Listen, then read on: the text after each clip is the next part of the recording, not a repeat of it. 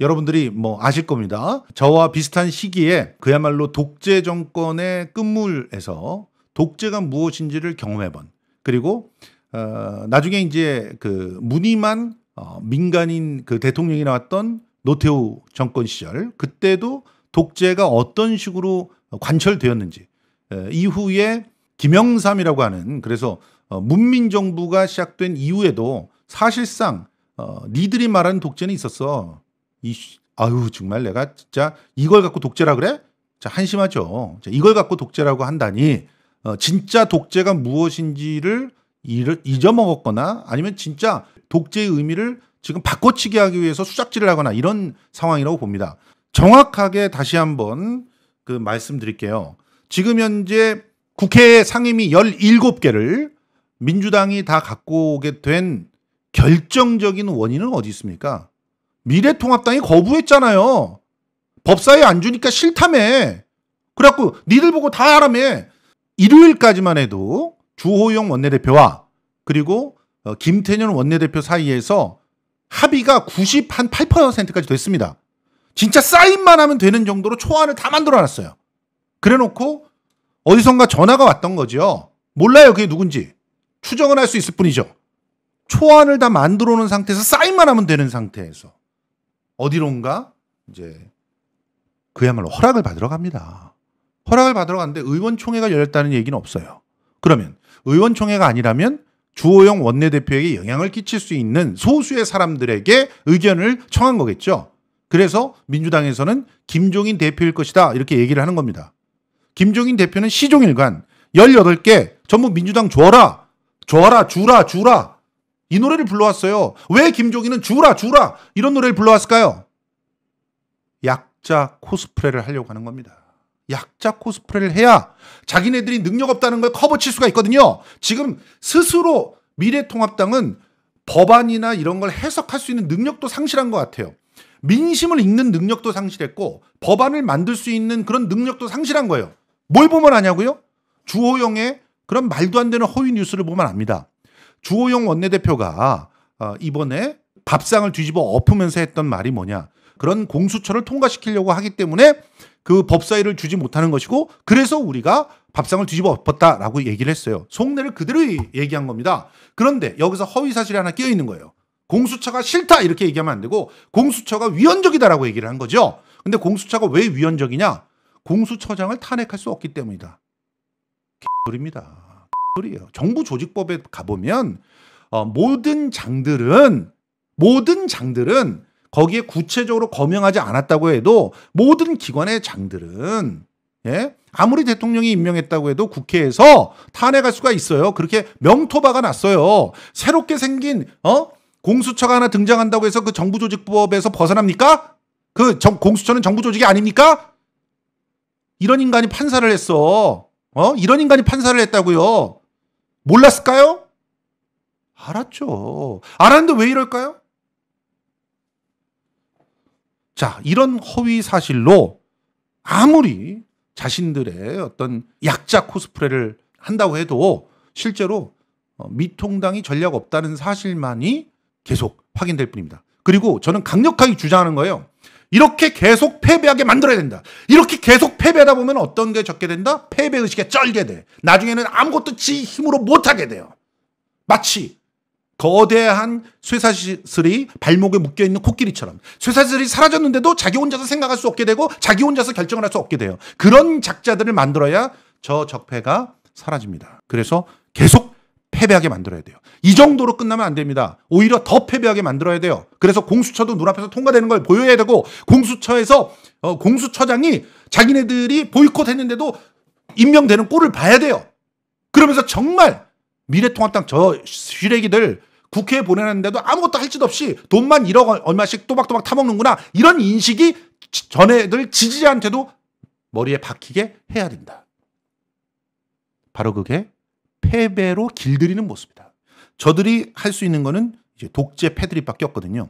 그 독재 패드립이 얼마나 허위인지 직접 독재를 경험한 사람의 입으로 들어보도록 하겠습니다.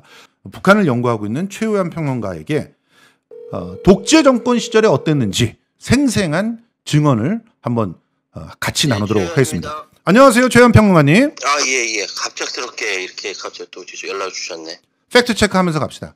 어, 얼마 전에 말도 안 되는 허위 대자보를 자기가 네. 다니지도 않는 대학에 갖다 붙인 일배로 추정되는 한 작자가 있어요. 그 작자가 음. 입건됐습니다. 음, 입건돼서 어, 벌금형을 선고받았는데 독재 정권 시절에도 없었던 전두환 시절에도 없었던 대자보 갖고 이랬다 그랬는데 전두환 시절에는 이런 대자보를 붙이면 어떻게 됐죠? 네, 원래 튀었어야 되고 더군다나 그때는 대자보 자체를 붙일 수가 없는 구조였기 때문에 예. 잡혀가면 구- 그냥 구속이에요. 예. 재판도 뭐 되게 그럼 무슨 X를 하는 거야. 그러니까 응? 자, 저 때도 그랬거든요. 저 때도 대자보를 그냥 흔한 그 공개된 게시판에 붙일 수가 붙여도- 없었어요. 맞아요, 맞아요. 붙이면 붙이고 나서 광탈하듯이 와가지고 누군가 뗍니다. 음, 맞아요. 어? 저 그. 학교 관계자가 뗍니다. 예, 예. 어. 그리 어떤 면에서는 그렇게 떼주는 게 고맙기도 했어요. 왜냐? 음. 학교 내에 음. 그 경찰들이 들어와 있었죠. 어, 경찰들이 보기 전에 떼주니까 고맙지. 오히려. 그러니까 무슨 하는 거야. 심지어는요 이런 경우가 있어요. 왜 그때는 이제 프린터가 예. 귀했고 그렇죠. 각 단과대마다 종류가 다 달랐어요. 그렇죠. 이쪽은 예를 문과대는 도트 프린터, 음. 어, 이과대는 잉크젯 프린터. 음. 그럼 같은 명조체라도 글씨가 다르잖아요. 그렇죠. 그래서 이제 경찰들은 다 알아. 그렇지. 각 단과대 프린터가 뭔 종류인 줄 알고 예. 쓰면은 이거 어, 느 조직에서 썼나 보다 해가지고 그거 추적해가지고 그 문건 써- 쓰는 사람들 잡아가고 막 그랬다니까요. 저기 증언 하나 더 들으려고요. 장 기자님.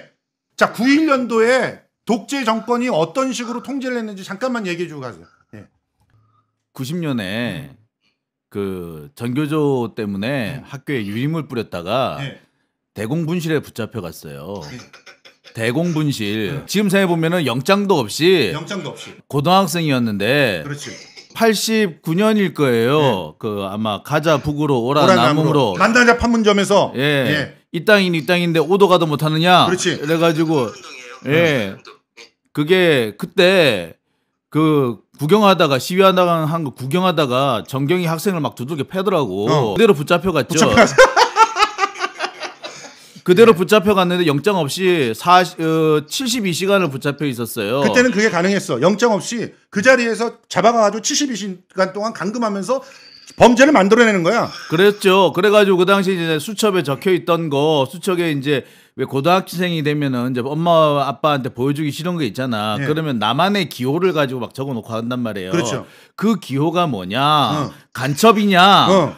야 난수표냐? 나- 난수표냐? 장 예. 기자님 그래 네. 마무리 마무리. 마무리. 하여튼 지금 현재 뭐 대자보를 뭐 붙였다고 해서 벌금형을 때리는 건 전두환 때도 없었던 일이다라는 식으로 얘기하는 그 쉐리들한테 한마디만 해주세요. 가봐, 네가 당해보고 얘기를 해. 아우, 나 진짜 무슨 소리야? 아니 심지어는요.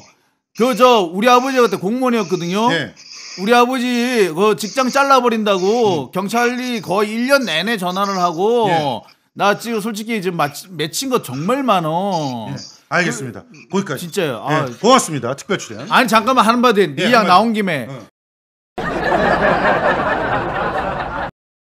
제가 기억도 안- 잊어먹지도 않아요. 그 5월 26일로 기억을 하는데 네, 5월 26일 날 성균관대 김기정 씨 네. 사망할 때 제가 바로 그 자리에 있었다는 거 아니에요. 네. 깔리고 붙잡히고 채이고 나도 죽는 줄 알았어. 그런 상황을 겪고 얘들도 한번 깔리고 채이고 한번 토끼몰이 당해봐야 정신 차릴 것 같아. 네. 독재가 뭔지 좀 보여주고 싶어. 실습으로 보여야 돼. 실습으로. 알겠습니다. 내일 우리 출연 때 더 속 시원하게 네, 부탁드리도록 장 하겠습니다. 기자님 고생하셨어요. 아이, 자, 참. 보세요. 지금 세 명이 지금 봐. 나는 86년에 대학 들어갔고 여기는 8 88에 대학 들어갔고 그다음에 저기는 91년에 대학 들어갔어. 근데 91년 이후까지도 그렇게 당했던 거야. 그게 독재야. 96년 연세대 사태. 96년 연세대 때는 또 어떻게 사람들을 죽였냐? 전투 경찰들이 그 학생들을 그 막 이렇게 억압적으로 하는 것이 96년, 97년까지 계속 그렇게 됐었어요. 어따 대고 그냥 허위 사실을 유포해. 그러니까 거기서 직접 당한 사람들이 있는데. 네. 지금 이야기하기는 진짜 또 억울하긴 하지만 예. 강기훈이라는 분이 계시거든요. 예, 곽상도한테 예. 생사람 잡혔던 사람이 강기훈입니다. 선배였죠? 우리 예, 최영훈 평론가. 바로 직속 선배였고요. 이 예. 사람이 어, 유서를 대필해줬다라는 억울한 누명 쓰고 예. 그 지, 하여튼 그 곽상도라는 사람이 아직도 국회의원하고 저 강기훈은 암에 걸려가지고 지금 치료받고 있는 이 상황이 난 현실인데도 믿겨지지 않을 정도로 억울하거든요. 근데 이거를 과거 독재 정권이랑 비교하면은 미치고 팔짝 뛰기는 거 이런 기사 볼 때마다 예. 말도 안 되는 소리를 하고 있고 근데 사람들은 또 잘 모르니까 특히 젊은 친구들 예. 믿어요 이걸 또 예. 이런 기사를 그건 믿어. 매체에 나왔다고 어. 와 이게 진짜 기본도 안 되는 걸 기사랍시고 그냥 어?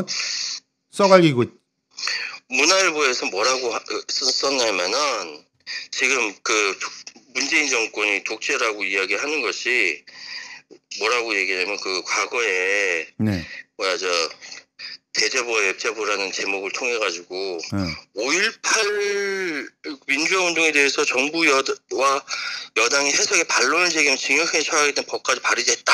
음. 어, 독재 국가가 생각하기 어려운 일. 그 저기 5.18과 관련돼 가지고 허위 사실 유포하니까 이게 문제가 되는 거지. 북에서 내려왔다라고 얘기하니까 문제가 되는 거지.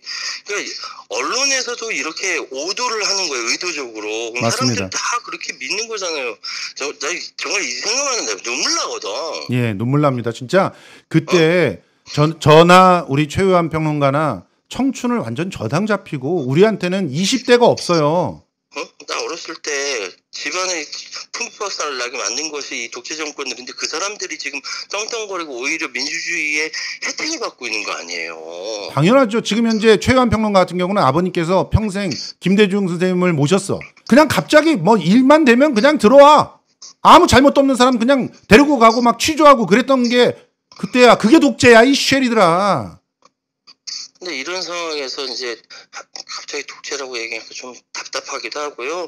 김정수 TV 보시는 시청자 여러분께서는 절대 속지 않으셨으면 좋겠고 예. 주변 사람들한테 이거 아니다 이런 얘기 이건 가짜다 이건 건물 침입 원치 않는 데가 건물 침입해서 벌금 받은 거다 독재 정권을 이거 말도 안 된다라고 잘 설명을 해주셨으면 좋겠습니다. 예, 그렇습니다. 고맙습니다. 오늘 연결해 예, 주셔서. 고맙습니다. 예.